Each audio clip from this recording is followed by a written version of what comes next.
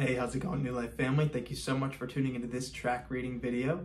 And as always, I'm stoked to be getting into God's Word with you guys as we continue through the book of Ezekiel. And honestly, what better way to get ready for the Christmas season than reading through the book of Ezekiel? I know it sounds kind of strange, but I'm reminded of the promise at the beginning of the book where God hands Ezekiel the scroll in Ezekiel chapter 2, and he says, Read this scroll and eat it. And uh, Ezekiel reads it and he's like, man, this is full of lamentations and woe and mourning. And it's a very heavy book. But he said, when I actually ate it, it was sweet to me. It was sweet as honey. And that's a promise that we have as we continue reading through the book. I'm sure a lot of you have been reading through it and, and we're all kind of feeling the heaviness of God's judgment on Israel, on Israel's people. And even during this past week, we've read about God's judgment on other nations around Israel. And it's a very heavy thing. But if we choose, if we intentionally take up the challenge to not just read this and say, wow, that's heavy, and, and put it on the shelf, but we decide, no, I'm going to actually commit this to my heart. The more you think about it, the more you read it, the sweeter it gets. And I found one of the sweet moments uh, earlier in this week's TRAC reading in Ezekiel chapter 21.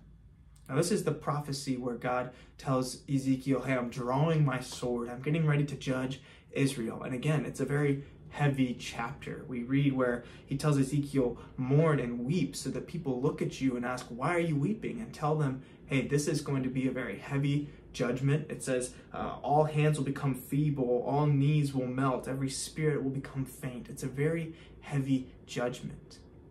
But this is an appropriate response to God's judgment. We read in, in chapter 12, God says, Cry out and wail, Son of Man, for it is against my people. It is against all the officials of Israel, and they are delivered over to the sword with my people. God does not delight in the judgment that he's about to deliver, but it is a necessary judgment because evil deserves God's judgment. And that's the theme that we've already been reading through Ezekiel. But I think what's so important is to see this command to mourn and to weep. I think those of us who have been following Jesus for a while are used to the story of uh, my sin separated me from God, but Jesus made a way for me to be forgiven. And while that is so true, I think sometimes we become so used to the idea of forgiveness that we forget how much we actually need it. God says, mourn and weep because of the sin. When we think about our own sin, do we mourn and weep over it? Though we might have been forgiven of the eternal consequences of our sin, there's still consequences for sin in this life. Sin is is ugly.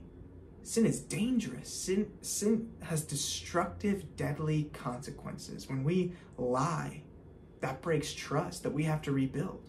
When we gossip, that severs relationships that might not ever be the same. And when we do these sins that we think maybe nobody knows or that are just little sins, we don't realize these sins we ought to mourn for. When we think about those who are outside of Christ, and God's judgment rightly falls on them, do we mourn for them? Do we weep for them?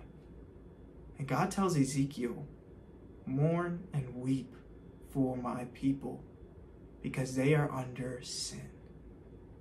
And the, the, the command is to especially mourn because God is saying that uh, uh, Zedekiah, the king of Israel right now, he's about to come under God's judgment. And actually, the, the judgment is so severe, he's about to be stripped of his crown, that there's this question left hanging in verse 13. Literally, the question is, what if even the scepter which despises will be no more? What if the scepter that despises will be no more? We're told in chapter 19 that Zedekiah, the scepter, the king of Israel, despised God. He didn't trust in God's strength, but instead he made an alliance with Babylon because Babylon had a great army. Their uh, King Nebuchadnezzar is called the King of Kings in, in later chapters. He is like the, the top of the line right now in the in the world right now. And instead of trusting in God, Zedekiah allies with him. And he isn't even content with that because we also read in chapter 19 that he breaks trust with Nebuchadnezzar, and he goes and also allies with Egypt. And so he's he's trusting in all these kings instead of trusting in God. And God says Zedekiah's sin is so wicked. The, the, the, the sin of all other leaders in Israel is so wicked that they actually could be jeopardizing God's promise of bringing a king, bringing a scepter that will rule Israel forever. This is a real reality that sin has real consequences. We ought to mourn for it. What if our sin costs too much? But thankfully, the question is not left hanging too long. We read in verse 27, uh, God prophesies through Ezekiel, and he's talking about Jerusalem, and he says, A ruin, a ruin, a ruin I will make it. This also will be no more until he comes whose right it is, and I will give it to him. God says, I'm going to use Babylon to bring Jerusalem to a ruin, and it will not be the same until the right king comes. The rightful heir to the throne shows up. And then, when only the king who is worthy comes, I will give him the throne of Jerusalem. And we're told that this is kind of the, the promise that's left hanging through Ezekiel that God is going to bring judgment on the kings of Israel. But there's this promise that a rightful king will come through. And I'm reminded of the promise that we hear as, as Jacob prophesies over his son Judah in Genesis 49. In Genesis 49, verse 10, this is what Jacob prophesies. He says, The scepter will not leave Judah. The scepter will not go from between his legs, I think it says, until the one who comes who it belongs, and all the peoples will obey him. This is a promise made all the way in Genesis that God is going to raise up a king through Judah, and all the peoples will obey him. And now God is saying, I have not forgotten that promise. Though you have forgotten me, though you have despised me, I'm faithful. I will keep this king.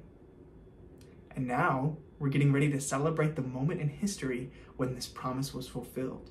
The first verse of the Gospel of Matthew says, This is the genealogy of Jesus the Messiah, the son of David. He is the rightful heir to the throne. He is the one from the line of David that was prophesied. And the angel even tells Joseph, You're going to name him Jesus because he's going to save Israel from their greatest problem. Not Babylon, not their kings, their sin. And that's what we have to hope for. Though we may mourn for the sin that we produce, God has brought a solution. And I hope that we keep this in focus as we continue reading through Ezekiel. I thank you guys so much for tuning in to this TRAC reading video. Continue reading, and I can't wait to see you guys next time.